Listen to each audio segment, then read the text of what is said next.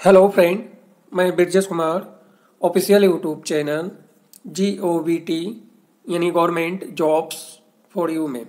आज का video PGT teacher TGT teacher librarian सहित विभिन्न पद से संबंधित हैं और इस वीडियो में इन विभिन्न पदों के बारे में बात करने वाले हैं।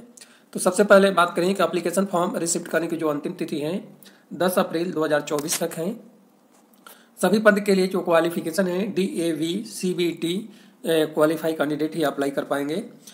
पीजीटी टीचर में विभिन्न पद हैं यानी विभिन्न विषय हैं, जिसमें physics math inform informatics practices physical education biology political science हैं और सैलरी है चालीस हज़ार रुपये।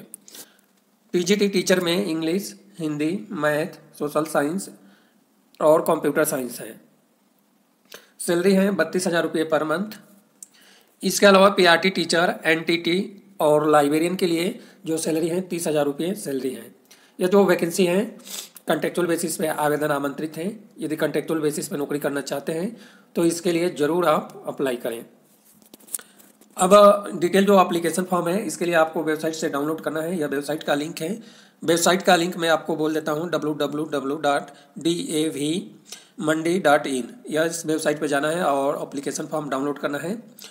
दो सौ रुपया अप्लीकेशन शुल्क के साथ में आपको अप्लीकेशन फॉर्म फिल करना है। क्वालिफिकेशन जो है अदर डिटेल जानकारी सब आपको वेबसाइट से डाउनलोड करना है। और 10 अप्रैल 2024 तक आपका अप्लीकेशन फॉर्म इसमें जो एड्रेस दी गई है, इस एड्रेस पे रिसिप्ट होना चाहिए। यह जो वैकेंसी है D A V centenary public school Mandi Himachal Pradesh में आवेदन आमंत्रित है।